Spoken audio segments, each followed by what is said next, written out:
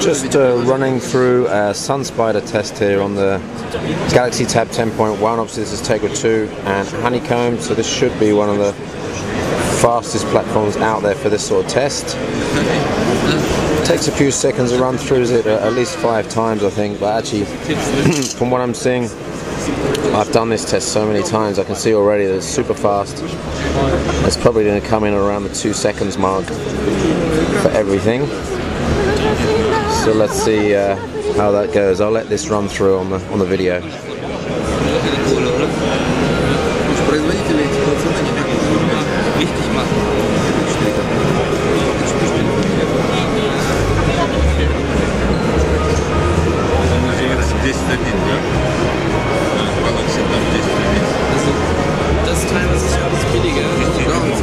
Das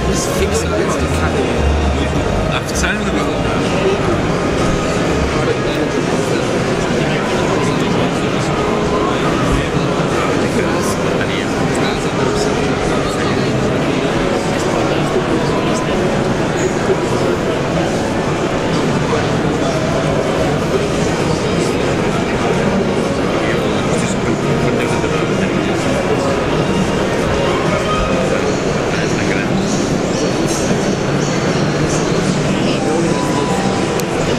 Okay, the results should come up right now. And there we go. My guess was right. That's 2.2 seconds. That part is Difficult to see on the video, but that's pretty much the same performance as you get from a netbook. And actually, I have to check. I'm not sure if this is a single-threaded or a multi-threaded test.